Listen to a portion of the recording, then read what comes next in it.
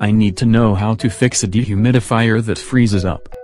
Can you help me? If it is literally freezing up, my first suggestion is to change the air filter. How would that make it freeze up? A dehumidifier works by chilling a coil, and as incoming air passes over it, humidity in the air condenses on the coil and collects in a collection bucket. I knew that much. The dehumidifier is essentially an air conditioner that focuses on removing water instead of heat, and if doesn't get enough airflow to circulate the drier air into the rest of the room, it circulates cold air until it gets really cold. I'd love to see a solution as simple as move it 3 feet. It may be removing the boxes and other stuff you have piled around it or putting it front and center in the room. But that may not solve the problem.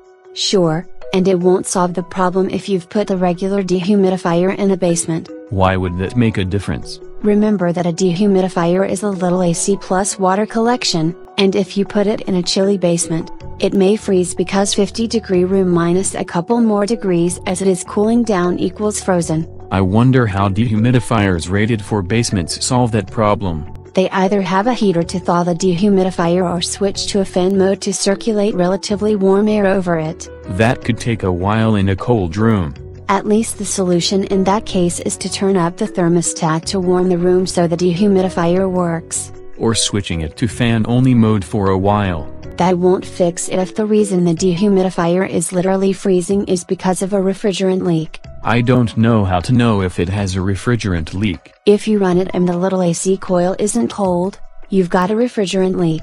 That would cause it to be warm, not cold. If the coil has a patch of ice on it while the rest is covered only by condensate, that's where the refrigerant leak is. I could try to fix it with no weld adhesive. That might stop the leak, but it will not replace the refrigerant that leaked out. I don't think I could replace the refrigerant.